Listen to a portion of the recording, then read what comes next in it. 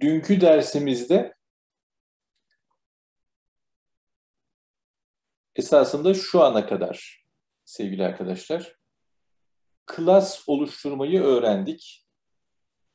Klas oluştururken kodu elle yazmıyoruz.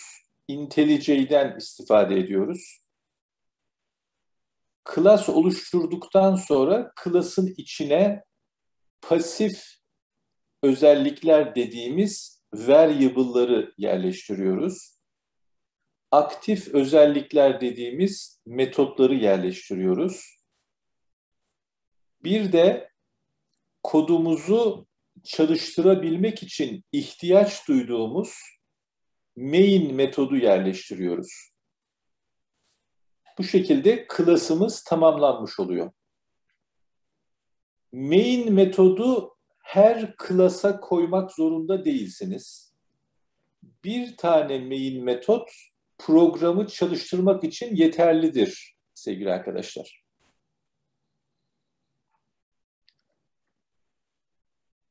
Klası oluşturduktan sonra klastan obje oluşturuyoruz.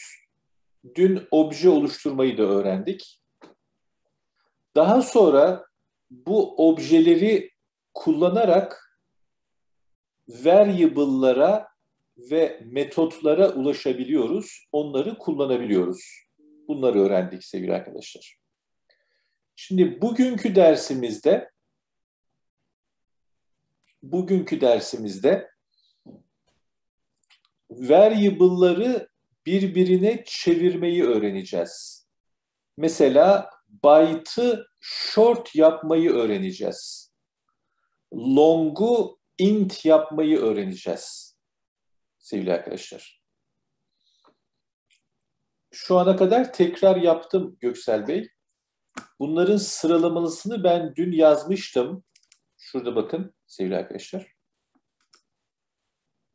Şu bakın. Bunları yazmıştım buraya.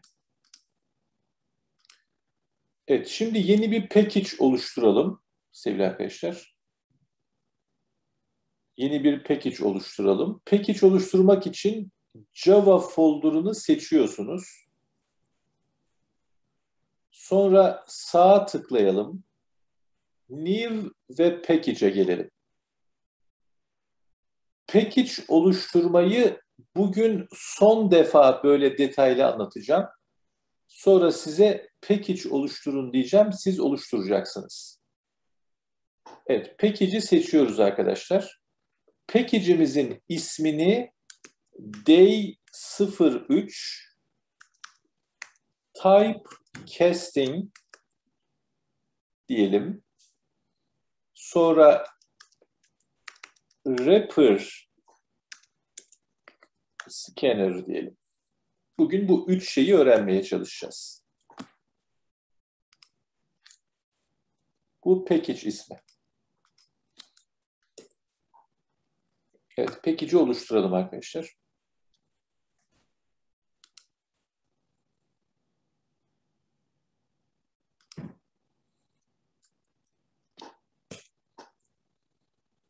Evet. Gördüğünüz gibi yeni bir package'im var.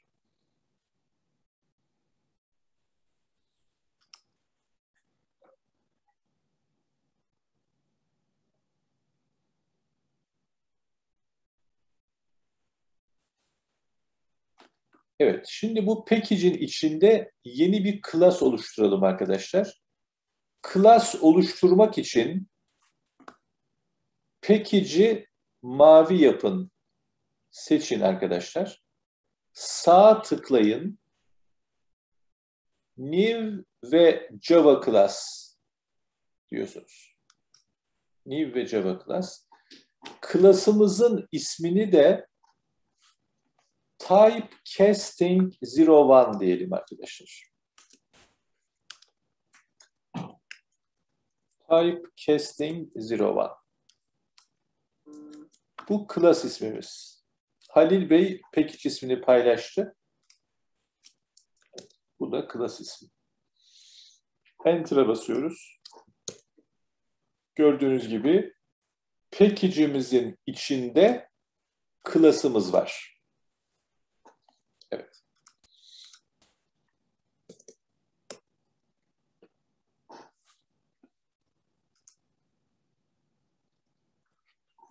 Evet, typecasting ne demek? Önce bunu konuşalım. Sevgili arkadaşlar, typecasting demek typecasting bir nümerik data tipini diğer nümerik data tipine çevirmek demektir. Tipine çevirmek demektir. Evet. Bir nümerik data tipini diğer nümerik data tipine çevirmek demektir.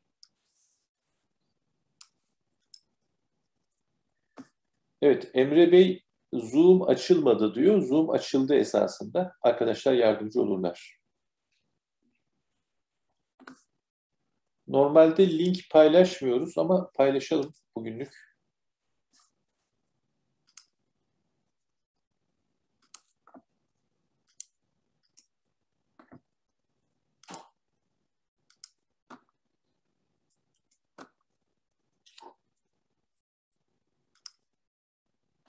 Evet.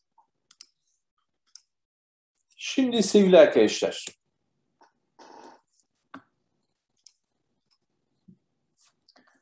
Nümerik data tipleri hangileriydi sevgili arkadaşlar? Byte vardı değil mi? En küçükleri byte'tı. Sonra short vardı. Sonra int vardı. Long, float, ve double var. 6 tane nümerik data tipimiz var. Boolean nümerik değil. Char nümerik değil demeyeyim ama bunlar gibi direkt sayı değil. Şimdi sevgili arkadaşlar, biz bazen byte data tipini mesela int'e çevirmek isteriz. Byte'ı int yapmak isteriz. Bazen mesela float'ı short yapmak isteriz. Böyle küçükten büyüğe, büyükten küçüğe gitgeller yaparız sevgili arkadaşlar. Küçükten büyüğe gidişe sevgili arkadaşlar auto widening diyoruz.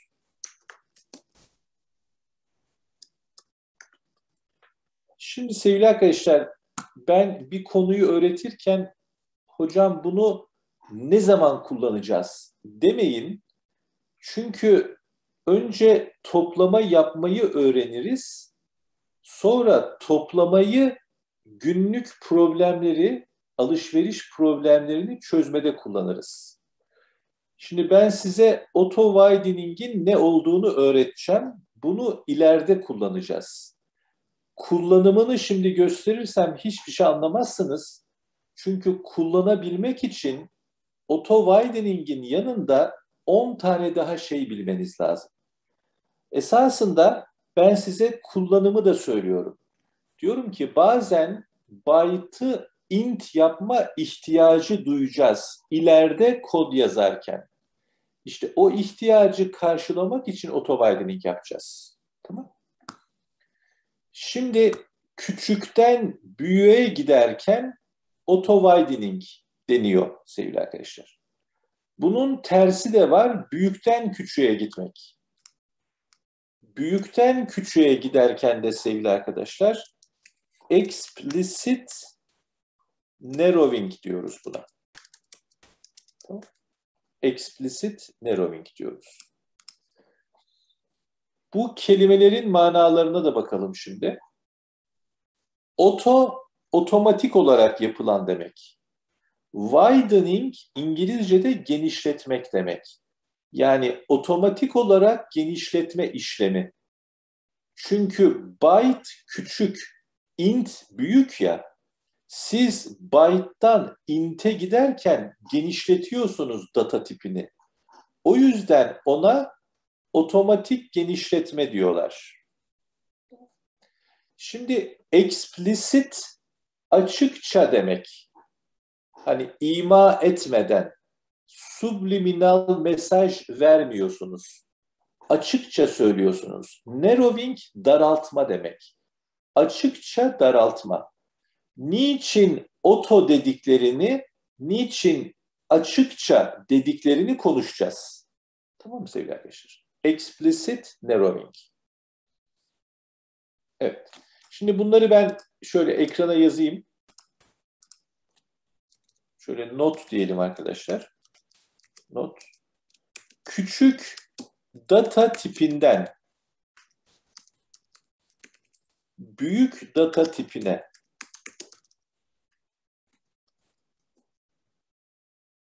geçiş yapmaya veya küçük data tipini büyük data tipine çevirmeye çevirmeye auto widening denir. Auto widening denir. Bunun tersi de var sevgili arkadaşlar. Onu da yazalım. Büyük data tipini küçük data tipine çevirmeye explicit narrowing explicit narrowing denir. Ben size burada üç tane kavram öğretmeye çalıştım. Bir, type casting ne demektir? İki, auto widening ne demektir? Üç, explicit narrowing ne demektir? Bu üçünde geç kalanlar hariç problemi olan var mı arkadaşlar?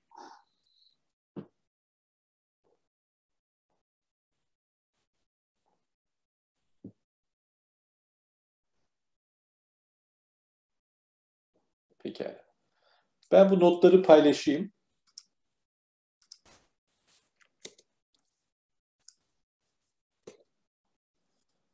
Pekala. Ahmet Şakir Bey diyor ki niçin bit yazmadınız diyor. Ahmet Şakir Bey bit bir data tipi değil. Biz burada data tiplerinden bahsediyoruz. Bit memorinin en küçük parçası. Byte iki tane anlamı var byte'ın. Bir, sekiz tane bite byte diyorlar. İki, byte diye bir data tipi var. Benim buraya yazdığım byte, data tipi olan byte. Tamam. Şimdi sevgili arkadaşlar, auto widening'i yapalım. Explicit narrowing'i de yapalım. Bunu yapmak için önce main metot oluşturalım sevgili arkadaşlar. Önce main metot oluşturalım. Biliyorsunuz main metot oluşturmadan kodları çalıştıramayız. Ben de buraya kod yazacağım için main metoda ihtiyacım var. Kısa yolu vardı. PSVM diyorsunuz arkadaşlar. Enter'a basıyorsunuz. Bu main metot. Şimdi ben bir tane byte oluşturacağım. Sonra onu int'e çevireceğim. Hadi yapalım arkadaşlar. Hepimiz variable oluşturmayı biliyoruz. Access modifier'ı yazacağız. Data tipini yazacağız. Variable'a bir tane isim verelim. Age, yaş olsun. Bunu da mesela 23 yapalım. Tamam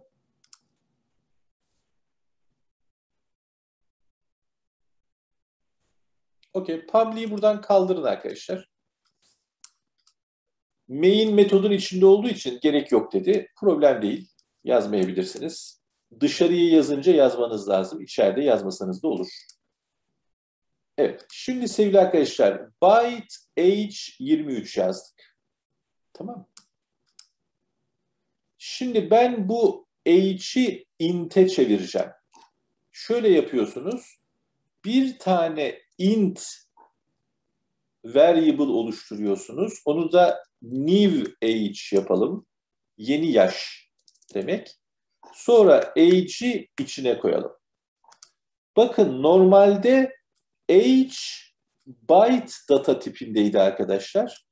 Ben byte'ı int'in içine koydum. Java hiçbir şey demedi bana. Java bana kızmadı.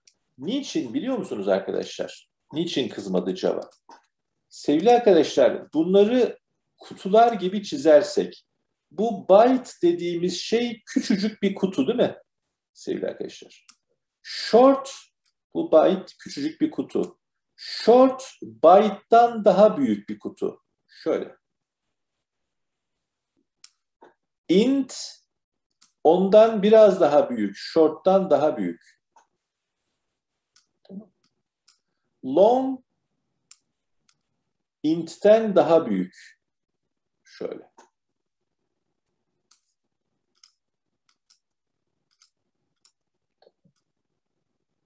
Float long'tan da büyük. Onu şöyle aşağı doğru çizeyim. Böyle kocaman bir şey float. Double hepsinden büyük sevgili arkadaşlar. Double şöyle bir şey. Kocaman bir şey double.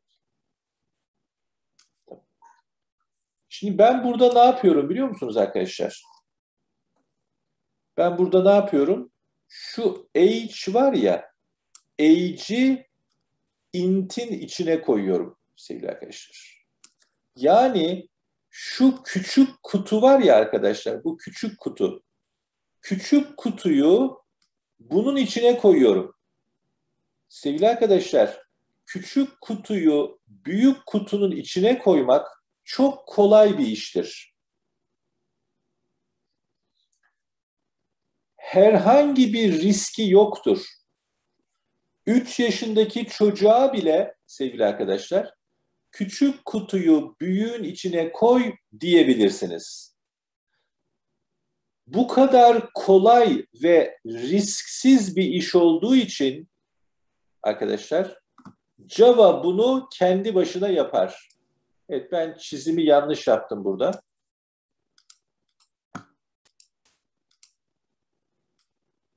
Bu short ya. Ben inte koyacağım. Bunu alıp bunun içine koyduk arkadaşlar. Evet, tekrar ediyoruz sevgili arkadaşlar. Küçük kutuyu büyük kutunun içine koymak kolay bir iş. O yüzden Java bu kolay ve risksiz işi otomatik olarak yapar sevgili arkadaşlar. O yüzden biz buna auto widening deriz. Bakın ben hiçbir ekstra şey yapmadım. Java'ya dedim ki byte'ı int'in içine koy dedim. Java otomatik olarak koydu. Benden ekstra bir şey yapmamı istemedi. O yüzden buna auto widening yani otomatik olarak yapılan genişletme işlemi diyoruz. Anlaşılmayan bir şey var mı arkadaşlar? Auto widening'de.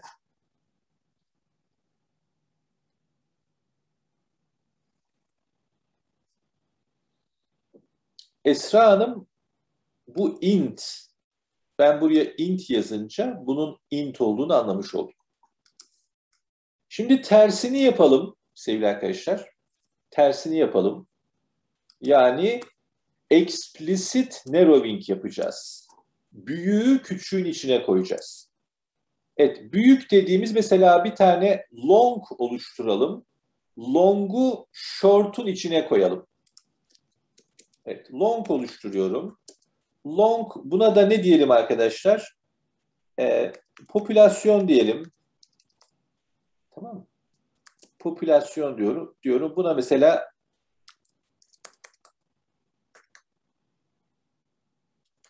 beş milyar diyorum. Hayda. Long'a 5 milyar verdim. Şikayet ediyor. Niçin arkadaşlar? Çünkü sonuna L koymam gerekiyor değil mi? Sonuna L koyduk. Şikayeti bıraktı. Şimdi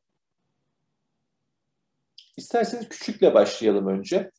1234 yapalım mesela. Küçük yapın arkadaşlar. Küçük yapın. Küçük yapınca L koymaya gerek yok.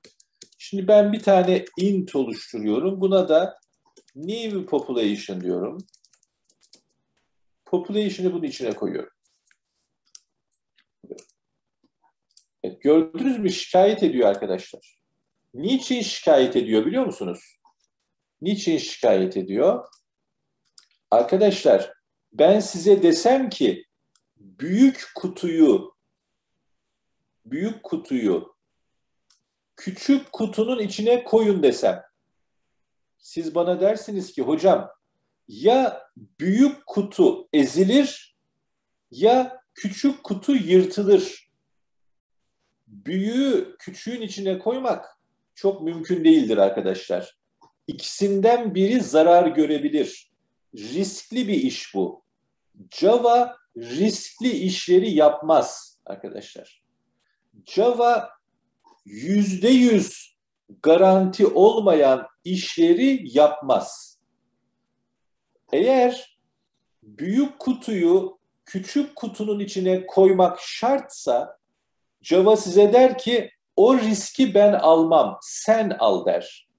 O yüzden biz ne yaparız burada arkadaşlar? Geliriz buraya, şöyle yazarız. int deriz. Bu ne demek biliyor musunuz? Hey Java, biliyorum sen long'u int'in içine koymazsın. Bunda risk görüyorsun. Ama ben burada koymanı istiyorum. Evet, şunu tekrar ben oku yanlış çizdim. Şöyle. Tamam. Evet. Şimdi ekrana bakar mısınız arkadaşlar? Ben burada açık seçik yazıyorum. Açık seçik Java'ya diyorum ki long'u int'in içine koy diyorum. O yüzden explicit diyorlar. Açıkça yazmak için. Tamam mı? Narrowing niye diyoruz arkadaşlar? Daraltma yapıyoruz. Çünkü long kocamandı, int küçük. Ben daraltma yapıyorum. Tamam mı? Daraltma yaptığım için. Evet tekrar ediyorum sevgili arkadaşlar. Hangi durumlarda kullanacağız sorusunu lütfen sormayın sevgili arkadaşlar. Çünkü anlatmam için çok şey bilmeniz lazım. Eğer o anki bilginiz hangi durumlarda kullanılacağını anlamanıza yeterliyse ben onu sorucu anlatacağım. Ama anlatmıyorsam emin olun e, anlamayacağınız içindir. Tamam mı?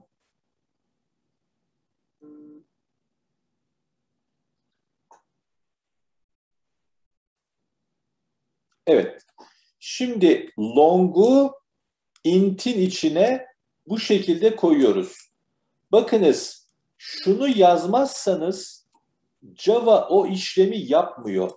O yüzden burada oto demiyoruz. Otomatik olarak yapmıyor Java. Sizin yapmanız gerekiyor. Siz yaparken açık seçik buraya inte çevir diye yazıyorsunuz. O yüzden ona açık seçik manasında explicit diyorlar. Narrowing zaten daraltma demek. Long'u int yapıyoruz, daraltıyoruz. Evet. Explicit narrowing bu. Şimdi ben size bir tane ödev vereyim. Yapamayız. Ama yazmadan Yusuf Sefa yazmadan denedim yapmadı ya bak şikayet ediyor. Mutlaka yazmak zorundasınız. Şimdi ben size bir tane görev vereceğim. Buna example 1 diyelim. Tamam mı? Example 1 diyelim. Short'u double'a çeviren short'u double'a çeviren kodu yazınız. Bu yapacağınız birinci iş arkadaşlar. İkinci işte de float'ı short yap, byte yapan kodu yazınız. Evet, bu ikisini sizden bekliyorum sevgili arkadaşlar. İki dakika süreniz var. Bunu yapmaya çalışıyorsunuz.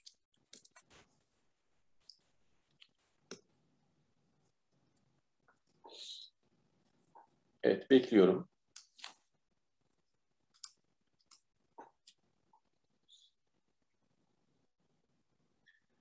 Ahmetcan, sence fluat için 54 yazmak oldu mu?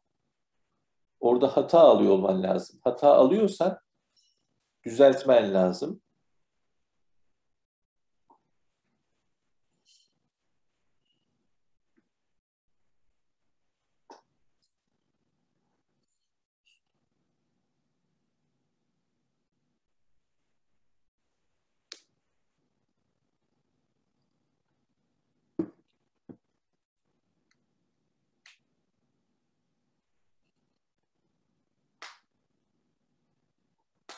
Evet, floatlarda F'yi yazmamız lazım sevgili arkadaşlar.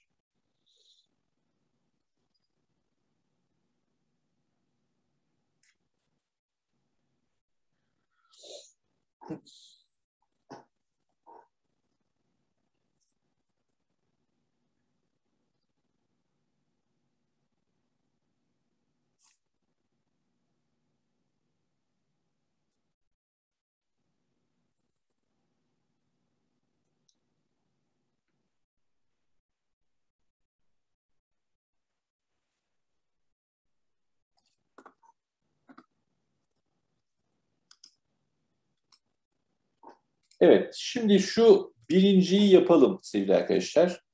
Short'u double'a çevireceğiz. Short diyorum data tipine. Short için isim olarak ne diyelim? Ee, num of students diyelim. Bir okuldaki öğrencilerin sayısı olmuş olsun. Bir okuldaki öğrencilerin sayısı ne olabilir? Mesela 24 değil de okul dedik. 235 kişi olsun okulda. Tamam? Şimdi ben double'a çevirecekmişim ya. Bir tane double container oluşturuyorum. Bunun ismini de new num of students yapıyorum. Tamam mı? Num of students'ı onun içine koyuyorum sevgili arkadaşlar. Bakın gördünüz mü? Bu küçük ya. Küçük kutuyu büyük kutunun içine koyarken sizin ekstra kod yazmanıza gerek yok. Java onu otomatik olarak yapıyor. Şimdi şu alttakine bakalım. Alttakinde ne olacak sevgili arkadaşlar? Buna example 2 diyelim. Tamam. Float oluşturacağım bir tane float yazıyorum. Bunun ismini de ne yapalım sevgili arkadaşlar? Price yapalım. Ücret demek. 12.99 olsun mesela. Bakın şikayet ediyor gördünüz mü? Niçin? Çünkü floatların sonuna F koymamız gerekir. Küçük F de olur ama genelde büyük kullanırız. Sonra ben bir tane byte oluşturuyorum arkadaşlar. Onun ismine de new price diyeyim. Bu price'ı onun içine koyuyorum. Gördüğünüz gibi float büyük, byte küçük olduğu için şikayet ediyor Java. Diyor ki büyük kutuyu küçük kutuya koymak problemlidir diyor.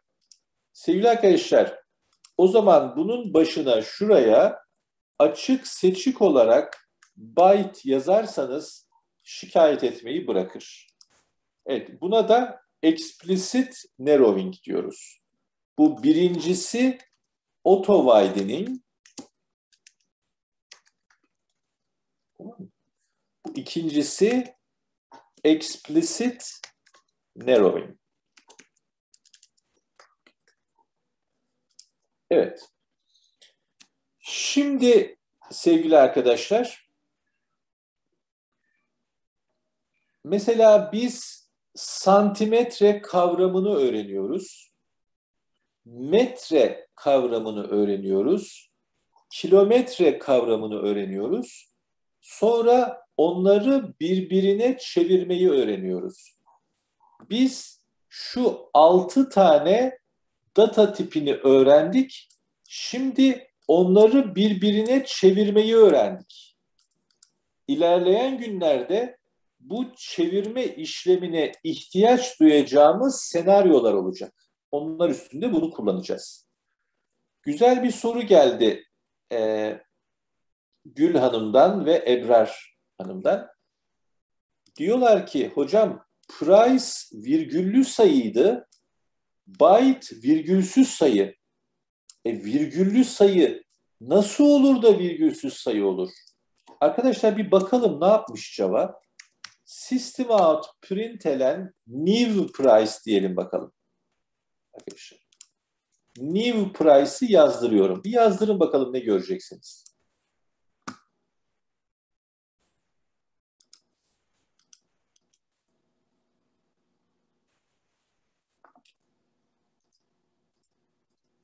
Oley 12 gösterdi. Evet ekrana bakın arkadaşlar. Ben yazdırınca 12 gösterdi. İlginç değil mi? 12.99'u 12 gösterdi. Demek ki sevgili arkadaşlar Java sizin düşündüğünüz gibi yuvarlama işlemi yapmaz. Tekrar ediyorum. Java yuvarlama işlemi yapmaz arkadaşlar. Java ondalık sayıyı tam e, ondalık sayıyı tam sayıya çevirirken tam sayıya çevirirken yuvarlama işlemi yapmaz. Bunu çok kullanacağız arkadaşlar. Yuvarlama işlemi yapmaz. Peki ne yapar sevgili arkadaşlar? Yuvarlama işlemi yapmaz. Ne yapar? Ondalık sayıyı tam sayıya çevirirken Java ondalık kısmını siler. Tamam mı? Java ondalık sayıyı tam sayıya çevirirken ondalık kısmını ondalık kısmını siler. Evet. Hocam niye böyle yapıyor Java? Matematikte böyle değil. Sevgili arkadaşlar, matematik ayrı bir bilim dalı, kendine göre kuralları var. Java ayrı bir bilim dalı, onun da kendine göre kuralları var. Biz şimdi Java'yı öğreniyoruz. Java'yı matematiğe çevirmeye çalışmayın. Java bu. Öbürü de matematik. Göreceğiz, onları da göreceğiz.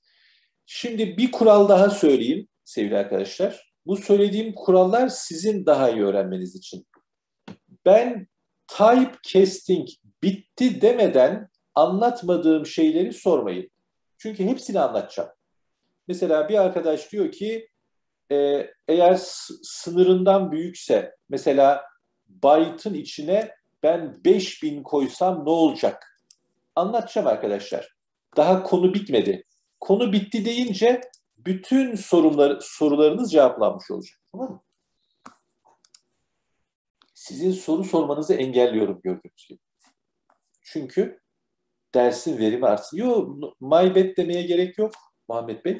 Sadece kuralları söylüyorum. Bir iki hafta sonra bana alışacaksınız. Bazılarınız bana kızacak, ne gıcık hoca, hiçbir şeyi cevaplamıyor diyeceksiniz. Ama tecrübem şunu gösterdi. Ee, her soruyu cevaplamak size çok zarar veriyor. Kafanız karışıyor arkadaşlar. O yüzden anlattığımı öğrenin adım adım. Ben bitti dediğimde tamam diyeceksiniz. Aklınızda soru moru kalmayacak. Tamam. Bu işte Tek Pro Education'ın öğretim sistemidir. Ömer Bey sen dedin reklam yaptım ben. Evet devam edelim sevgili arkadaşlar. Devam edelim. Şimdi şöyle bir şey yapacağım. Bir tane integer oluşturacağım. Bu integer'a number diyelim. Tamam mı? Ve içine 515 koyuyorum sevgili arkadaşlar. Tamam mı? Sayının içine 515 koyuyorum. Şimdi ben bu integer'ı şu 515'i byte'ın içine koyacağım. Byte buna da new number diyelim. Eşittir number diyor. Tamam. Gördüğünüz gibi şikayet ediyor. Şikayet ediyor. Çünkü ben büyüğü küçüğün içine koymaya çalışıyorum. Normal şikayet etmesi. O yüzden buraya ne yazacağım arkadaşlar? Parantez içinde byte yazacağım. Şimdi sevgili arkadaşlar şikayeti bitirdi. Hadi şu new number'ı ekranda bir görelim bakalım ne yapacak. Sevgili arkadaşlar. System out println'in içine new number koyuyorum. 3 yaptı. Hayda. Şimdi herkes buraya konsantre olsun arkadaşlar. Sadece bu soruya odaklanın. Evet. Sevgili arkadaşlar, bu 515 ya. Halbuki ben neyi biliyorum? Byte'ın sınırları eksi 128'de başlıyor sevgili arkadaşlar. 127'de bitiyor. Bunları yazmıştık data tiplerini öğrenirken. Evet, eksi 128'den 127'ye kadar. Arkadaşlar 515 bu sınırda değil ki sınırda olmadığı zaman Java ne yapar sevgili arkadaşlar? 515'i alır, o sizin byte yapmak istediğiniz sayı var ya onu alır. Bu byte'ın içinde kaç tane sayı var? 256 tane. Hocam niye 256? 128 tane negatif var. 127 tane pozitif var. Etti mi 255? Bir de 0 var 256. Burada kaç sayı varsa ona böler. 515'in içinde 256 iki kere var. Bu 512 eder arkadaşlar. 515'ten 512'yi çıkarırsanız 3 kalır. İşte size bunu verir sevgili arkadaşlar. Bu şekilde çevirme yapar. E hocam bu ne bu? Arkadaşlar biz buna matematikte modüler aritmetik diyoruz. Matematiği iyi olanlar bilir. Gerek yok öğrenmenize. Yani oturup bunu öğrenmeyin arkadaşlar. Ben sadece size şunu anlatmak için bunu söylüyorum. Sevgili arkadaşlar. Şimdi bu küçük kutunun küçük kutunun sınırını aşan sayıyı küçük kutuya koymak isterseniz Java modüler aritmetik kullanır ve size kalan sayıyı verir sevgili arkadaşlar. 256'ya böldüğünüzde elde edilen kalanı size verir. O yüzden siz ekranda 3 koyuyorsunuz. Gördüğünüz gibi sevgili arkadaşlar, gördüğünüz gibi büyük sayıyı yani sınırı aşan sayıları küçük kutuya koymak böyle garip sonuçlar veriyor sevgili arkadaşlar. O yüzden biz bunu kullanmamaya çalışıyoruz. Tamam mı? Bunu kullanmamaya çalışıyoruz. Anlaştık mı?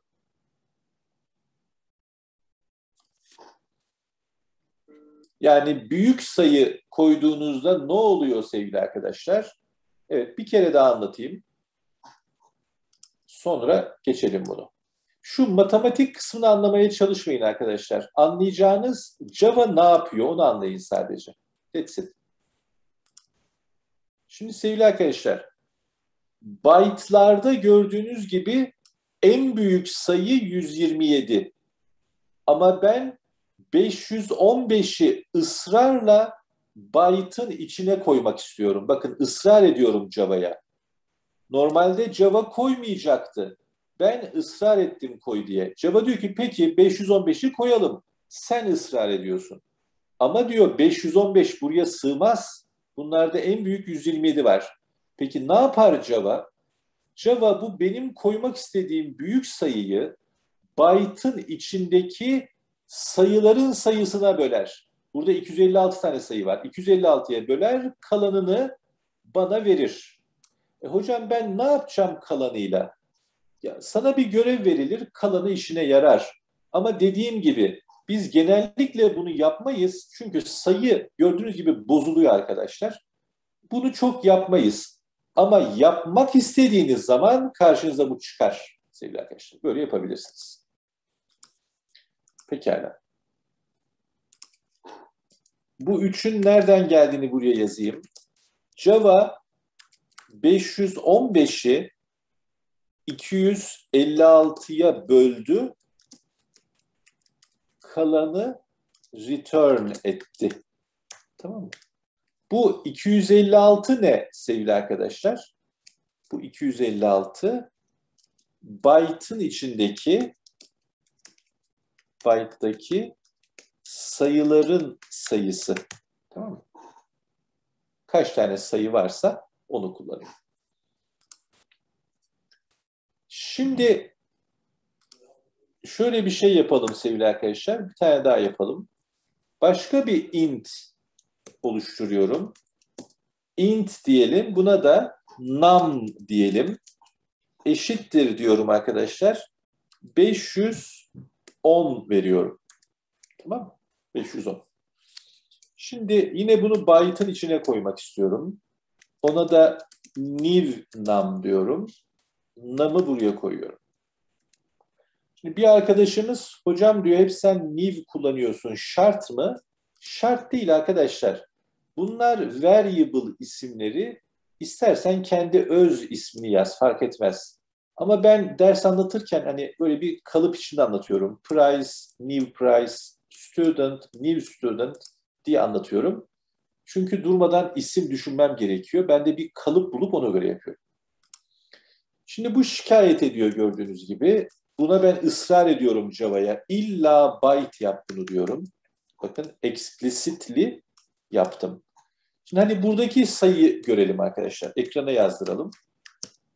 New num çalıştırıyorum kodu şimdi. Evet. Eksi 2 yaptı. Şimdi niçin eksi 2 yaptı? Sevgili arkadaşlar, ben buraya 510 koydum değil mi? 510. Halbuki byte'ın değerleri eksi 128'den 127'ye kadar. Bu aralıkta. Java neyi anladı? 510 bunların içinde değil. Ne yapacak Java? 510'u 256'ya bölecek. 256 tane sayı var ya. 256'ya bölecek. 510'un içinde 256 bir kere var. 256'yı buraya yazalım. Çıkarmamızı yapalım. 254 kalır sevgili arkadaşlar. 254 kalır. Bu bir ihtimal. Java 254 diyebilirdi. Ama demedi. Eksi 2 diyor. Ne yaptı biliyor musunuz Java? 510'u 256'ya bölerken dedi ki iki kere var. Bölmede hata yapıyor bakın. iki kere var diyor. İki keresi 512 eder. Çıkarmayı yapınca eksi 2 kalır. Java bunu tercih etti kullanmak için. Niye? Arkadaşlar 254 demek yok diyebilir de 254 demek zor bir iş, büyük bir sayı. Bir o yüzden. İkincisi 254 byte'ın içinde yok sevgili arkadaşlar. Halbuki biz byte yapmak istiyoruz. Tamam mı? O yüzden eksi 2'ye çevirdim. Anlaştık mı? Eksi görünce şaşırmayın arkadaşlar. Yine matematik bilginiz eğer iyi ise şunu bilmeniz lazım. Modüler aritmetikte 254 ile eksi 2 aynı şey demektir. Bu ikisi şöyle yazılır arkadaşlar. 254 denktir eksi 2'ye mod 256. Üniversiteye çalışanlar bunu görürler, hatırlarlar. Mod 256. Böyle bir işlem var. Bunlar birbirine denk olduğu için yani 254 kullanmak veya eksi 2 kullanmak fark etmez. O da ona eşit olur. Evet bu screenshot'ı paylaşalım.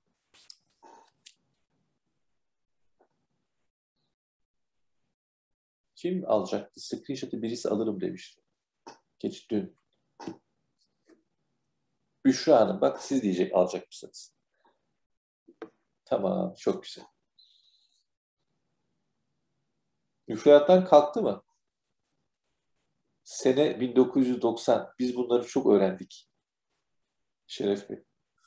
Bir de öğrettik yıllarca. Şimdi kaldırmışlar. Niye öğrettiniz, niye kaldırıyorsunuz? Evet, şimdi evet. Büyük olunca ne yapmamız gerektiğini anladınız mı arkadaşlar?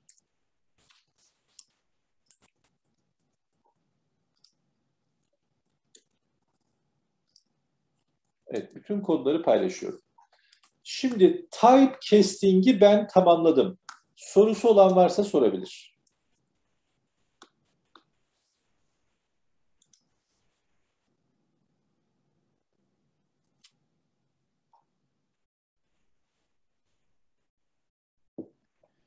Arkadaşlar molayı 80 dakikada veriyoruz. Şu an ders başlayalı 50 dakika oldu. 80-10-80 şeklinde ders işliyoruz. Üneys Bey diyor ki birden fazla byte'ı bir tane int'in içine koyabilir miyiz? Koyamayız. Her bir variable bir tane değer barındırabilir. Birden fazla koyamayız. Pekala.